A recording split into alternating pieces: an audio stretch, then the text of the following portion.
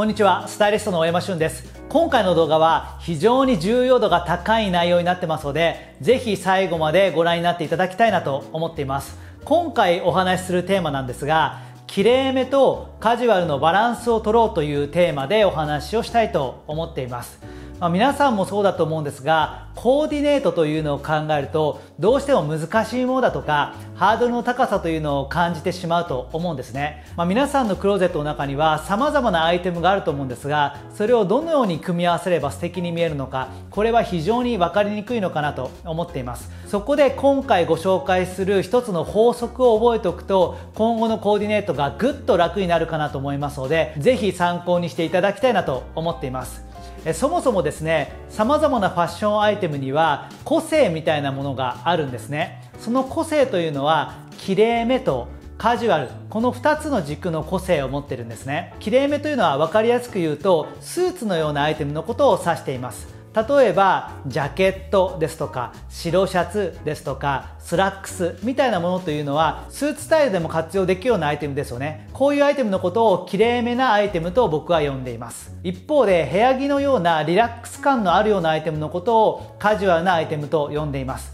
具体的にはスウェットですとかスニーカーですとかこういったものに関してはカジュアル度の高いアイテムだと僕は捉えています。このようにきれいめのアイテムというのとカジュアルのアイテムというのがありましてそれぞれ振り分けることができるんですね。このアイテムはちょっときれいめだなとかこれはカジュアルだなとかこれはまあどちらかというときれいめ寄りかなとかこれはややカジュアル寄りかなという形でそれぞれ個性があるのでまずはここを理解することが大切なのかなと思っています。そしてここからが重要なんですが着こなし全体を見た時にきれいめすぎずカジュアルすぎないようにそれぞれのアイテムをミックスしながらコーディネートすることが大切なんですね。例えばネイビーのジャケットに白シャツを着てグレーのスラックスを履いてそしてブラックの革靴を履くとしますよね。そうすると全身がきれいめなのでこれは私服というよりはビジネスカジュアルのような雰囲気になってしまってちょっと硬すぎるんですよね。一方でスウェットに T シャツを着てブルージーンズを履いてスニーカーを履く。このような着こなしは全身がカジュアルなので大人の男性には似合いやすいんですね。年齢は重ねてるのに着こなしはほとんど大学生と変わらないような方結構多いのはこのように全身がカジュアルなことが一つの原因なのかなと思っています。大切なのは極端にきれいめすぎずカジュアルすぎないようにそれぞれアイテムをミックスしながらちょうどいい中間点を目指すということなのかなと僕は考えています。じゃあ具体的にどういうものがきれいめなアイテムなのか。どれがカジュアルなのかというところを少しお話したいなと思うんですが、まあ、その際にちょっと参考にしたいのが僕のこちらの本なんですね。服が面倒いという本で最新回なんですがこちらの中に分類の表が載っていますので今回はそちらを参照してみたいなと思っています。具体的にカジュアルなものと言いますと一番カジュアルな分類としてはサンダルですとかショートパンツですとかあとはスウェットみたいなアイテムがここには分類されます。そして2段階目ですね。ややきれいめになりますがそれでもまだカジュアルなものが、まあ、ボーダー柄の T シャツですとかパーカーですとかダウンジャケット、まあ、ボトムスではブルージーンズですとかそういったものが入りますね。あとはバックパックですとかベリーショートソックスみたいなものもややカジュアルなアイテムに入ります。で3段階目ですね。こちらもまだややカジュアルめなんですけども無地 T シャツだとかナイロンパーカー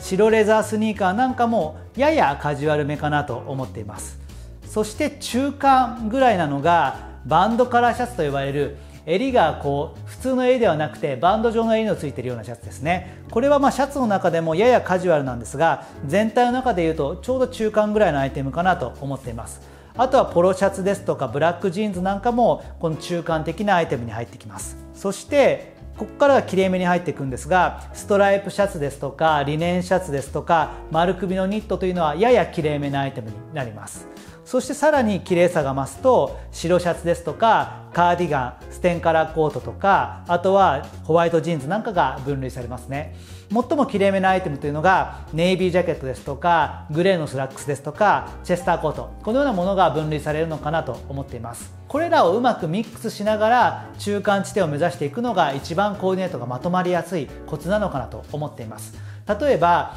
ネイビーのジャケットに白のボタンダウンシャツグレーのスラックスに黒の革靴この着こなしだと硬すぎるのでそういう場合には白のボタンダウンシャツを白の T シャツに変えてみるだとかあとは靴に関しても革靴をレザースニーカーに変えてみるだとかこのような形でややカジュアルな感じを足していただくと大人の男性には似合いやすい着こなしになるのかなと思っています。一方でカジュアルすぎる場合ですねパーカーを着て T シャツを着てブルージーンズを履いてスニーカーを履いてる。これだと全身カジュアルすぎるのでパーカーをネイビージャケットに変えてみるだとか。このような形で少し変化をつけるだけでもだいぶ大人っぽい雰囲気が出せるのかなと思います。ですので皆さんが普段コーディネートする際には鏡の前に立って全身がきれいめすぎないかなとか全身がカジュアルすぎないのかなというところを確認をしていただきたいんですね。そこさえ意識するだけでも全然着こなしのまとまり方が違うかなと思いますので是非頭の片隅に置いていただきたいなと思っています。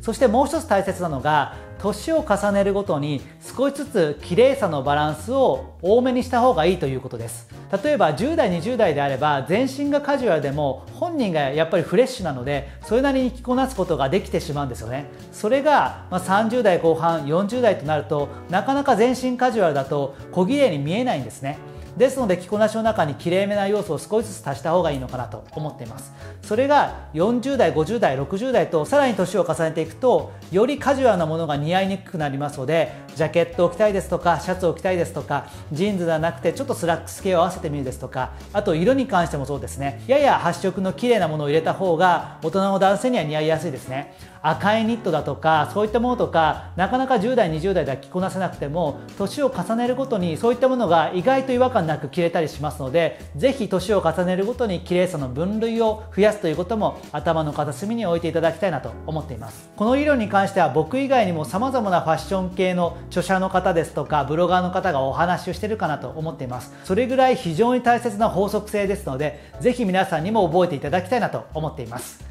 以上スタイリストの大山俊でした。よかったらチャンネル登録の方もよろしくお願いします。